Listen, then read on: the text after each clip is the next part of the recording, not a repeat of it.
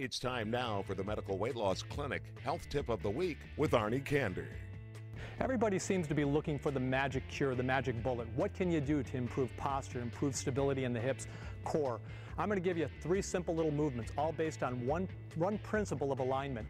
We go back to the base position, feet underneath the hips, with the legs unlocked.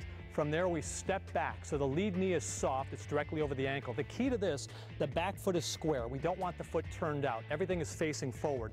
Keep yourself in this position. Then from there, release the hands behind the body, not away, but close to the hips. The second phase, bring the hands in front. We call it the triangle. Strong position from here where you're not losing your balance, using your core.